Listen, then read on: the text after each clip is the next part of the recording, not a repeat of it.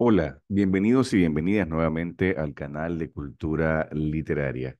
Como siempre nos encontramos en este ciclo de análisis express de las unidades y las obras del curso de AP Spanish Literature and Culture.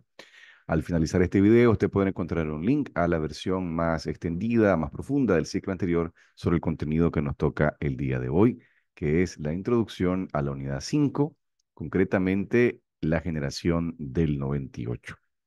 Recordamos que Cultura Literaria es un proyecto que tiene como objetivo la difusión de materiales y contenidos de análisis, obras, géneros y corrientes literarias.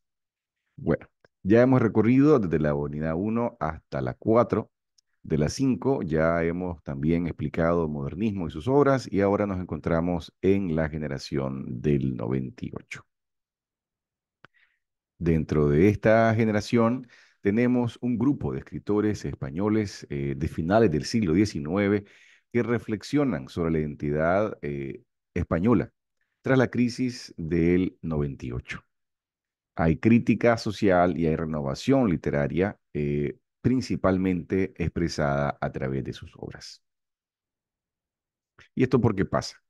Esta generación está marcada por lo que se le llama el año del desastre, el desastre del 98 la guerra hispano-estadounidense que pierde España va a provocar que eh, las últimas colonias en América pues se pierdan, ¿no? Cuba y también Guam y Filipinas se van a perder y básicamente lo que alguna vez fuera el orgulloso imperio español ya no lo es. Y esto marca entonces a una generación de poetas intelectuales que se encuentran en una España eh, marcada por una profunda crisis social, política y moral estos intelectuales, estos escritores, eh, no solamente comparten una preocupación por el futuro de España, sino que también van a buscar una renovación literaria y una regeneración nacional. Esto se ve claramente en las características literarias de la generación. En principio, una reflexión sobre España. Las obras de estos autores eh, tienen como preocupación central la decadencia, la corrupción de una España que ya perdió sus últimas colonias. Esta crisis nacional va a ser un tema recurrente en las obras de esta generación, donde se refleja no solamente el descontento eh, con la situación política y social, sino también la búsqueda de una renovación que lo vamos a ver más adelante.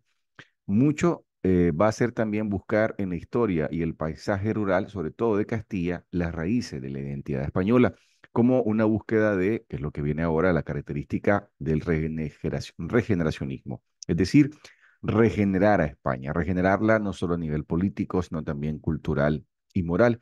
Y para esto, la propuesta de estos eh, intelectuales y escritores es renovar los valores tradicionales que son para, para ellos considerados esenciales para renacer el país. Es decir, para ellos lo urbano, lo corrupto, lo urbano era el centro y el núcleo de lo que fue el imperio que ya cayó, que ya básicamente caducó.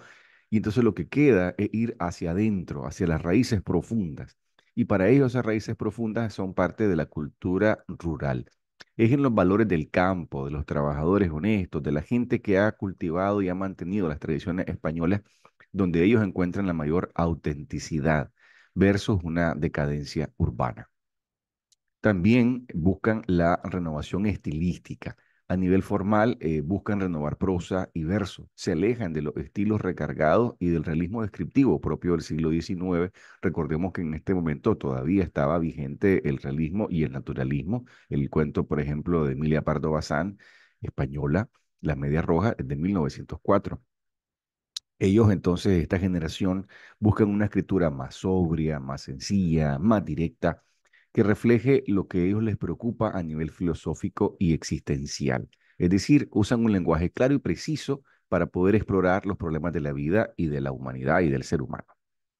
Claramente influenciados, existencialismo y subjetividad presente en su obra por Kierkegaard y Nietzsche. Estos escritores que reflexionaban sobre vida y muerte, destino y sentido de la existencia van a ser de una gran influencia en el enfoque introspectivo y filosófico de esta generación.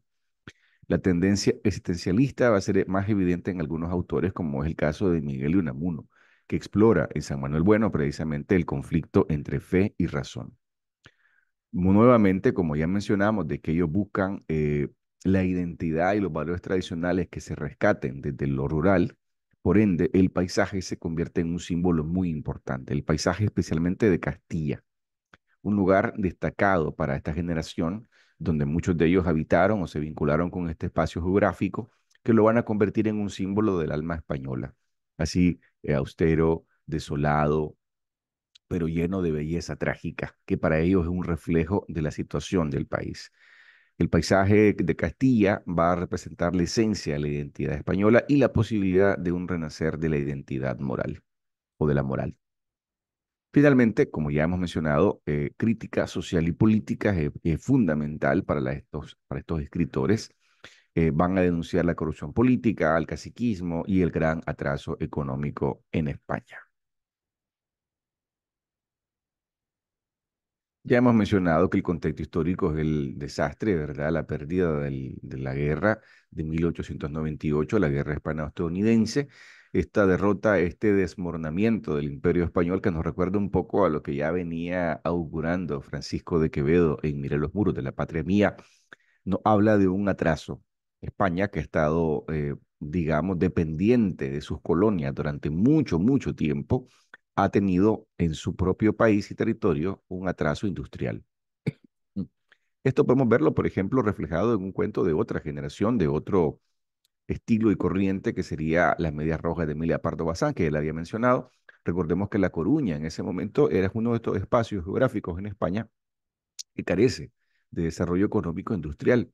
Y por esto hay mucha migración hacia América, hacia Estados Unidos particularmente, que es lo que quería hacer Hildara, ¿verdad? Al montarse en ese barco antes de que su padre la desfigurara. Este atraso también va a generar mucha desigualdad y descontento social.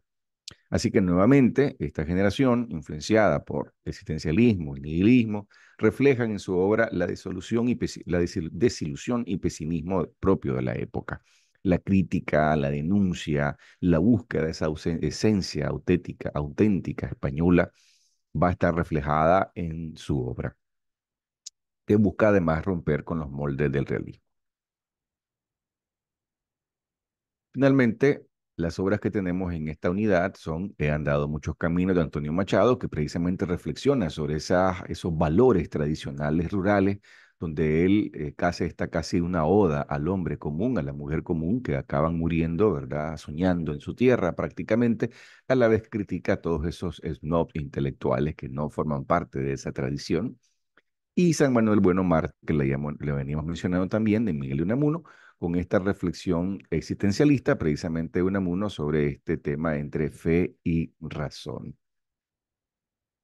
Pues hasta acá ha sido este análisis express de la generación del 98.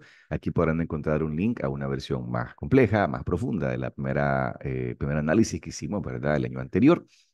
Como siempre, les invitamos a visitarnos en nuestra tienda de cultura literaria en la página, en la plataforma de Teachers Pay Teachers, donde pueden encontrar diversos recursos para docentes de este curso de Spanish, así como también para estudiantes, incluyendo estas presentaciones y también las que trabajamos en el ciclo anterior. Por su atención, como siempre, muchas gracias.